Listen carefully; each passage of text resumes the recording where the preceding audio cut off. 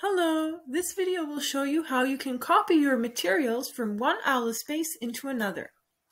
This applies to materials that are in the Journey section, so not community feed posts or assignments. Let's go to the Journey section, and here we have some pages and a section here with pages within it.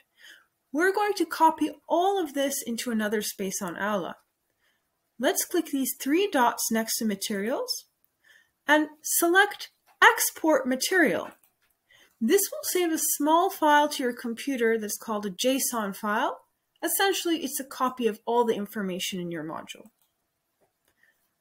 Now that I've saved that file to my Downloads folder, I'm going to go into the module that I want to put all of this content into. So I can do that by clicking on my module title and selecting my module from my list here. Now that I'm in my module space, you can see it's empty. I'm going to click on the three dots next to materials again.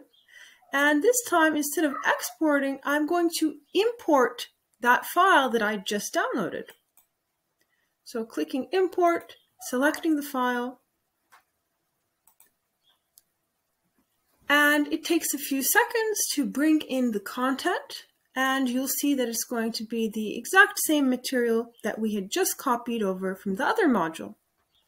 When the import is done, you'll see a small message at the bottom of the screen.